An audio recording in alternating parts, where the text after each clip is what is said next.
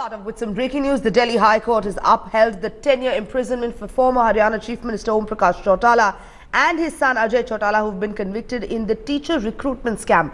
Remember, they are both accused of illegally recruiting 300 junior teachers in the year of 2000. Now, Om Prakash Chautala had filed an appeal challenging the quantum of sentence awarded to him in the Delhi High Court, which today has upheld that very same sentence.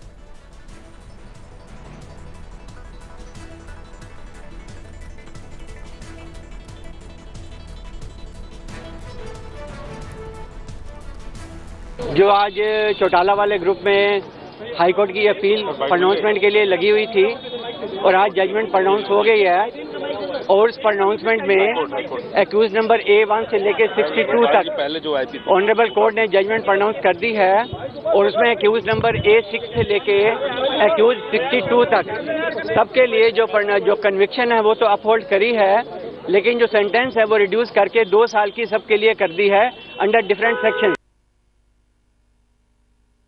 ये कहा है कि जो accused number एक से five Om Prakash Chautala ji, Ajay Chautala ji हैं, उनके वही जो सेम दस साल की सजा वो बरकरार रखी है।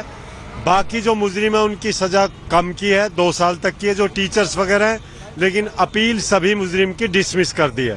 केवल क्वांटम ऑफ़ सेंटेंस पे कुछ मुजरिम को रिहात दिया हाईकोर्ट ने।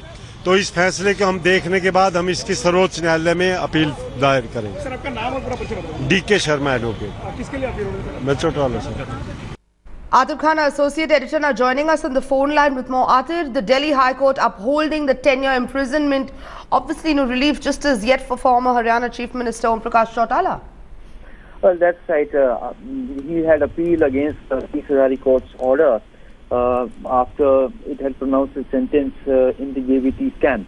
So now they were hopeful that they would get some relief from the High Court, but the High Court has upheld the 10-year-old sentence uh, for both uh, O.P. Chautala and Ajay Chautala, uh, among others. The only relief uh, has been given to the uh, district selection committee teachers you know, who were convicted in this case. Their sentence has been reduced to two years. However, there's no relief for Chautalas. Right, and what happens now? We understand that there's going to be a further appeal to this, Atif? Well, that's right. Now that the quantum of sentence has been pronounced by the High Court, the next uh, logical step for uh, B.K. Sharma, Chautala's lawyer, would be to appeal in the Supreme Court, and that's what they're going to do. Uh, so we'll have to wait and watch uh, what will be the strategy. They'll have to go through the detailed order, and only then they're going to decide the course of action. Right, Atif, if you're, for our viewers, if you can actually just sort of uh, just go back and just tell us about Chautala's role specifically in this teacher recruitment scam. Well, you see, this goes back to 2000 when the junior basic, uh, you know, teachers uh, were recruited uh, in the government of Haryana, and uh, the then Chief Minister O.P. Uh, Chautala was made an accused in this case, and his son Ajay Chautala's involvement was also established, uh, where after the police had filed its charge sheet and it had been put in court. The court, the law court had uh, given its verdict and it had convicted them, among others. There were in all more than 50, uh, more than 50 convicts in this case.